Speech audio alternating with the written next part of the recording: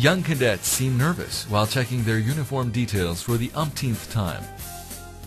After all, they are the main stars and shortly will be marching out to the ranks of officers from the very training grounds they inhabited for the last two years. The Academy Adjutant wants all his gentlemen and lady cadets to be at their best as he mounts his elegant gray charger to lead them to the parade square.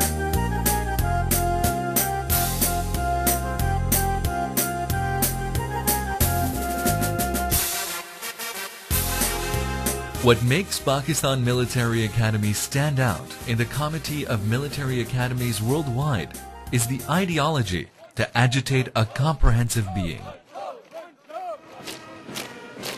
A fine blend of body and mind after a rigorous training that spans over a period of two years.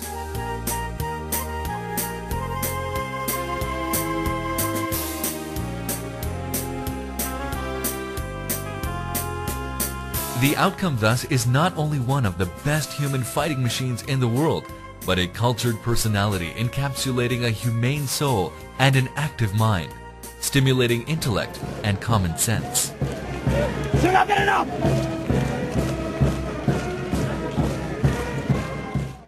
And to carve this product, a finest set of master craftsmanship is surely what is required. The ones who hardly err are spotless and perfect as a picture, hence a drill staff. The institution of the drill staff at Pakistan Military Academy dates back to October 1947, the time when the academy was first established, with its first battalion called as Qaid-e-Azam's Own. So when Colonel Ingall, in his capacity as Academy's first commandant, formally initiated the training of the first batch in January 1948, the drill instructors were very much part of the overall scheme.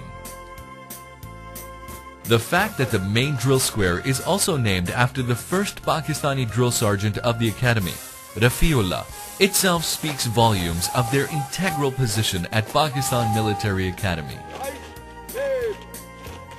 No wonder thus to be a drill staff is the dream of every junior ranked soldier.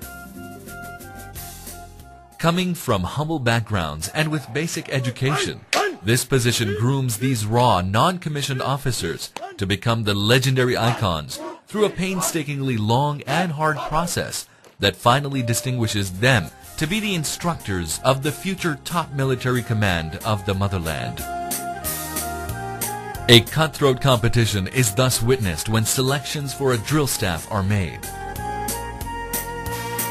It all begins at the respective units and centers, which nominate their best talent for the prestigious drill staff course to be conducted at the Pakistan Military Academy. Once at Pakistan Military Academy, after initial selections and scrutiny, the most eligible are hurled into the phase of additional trainings and tests.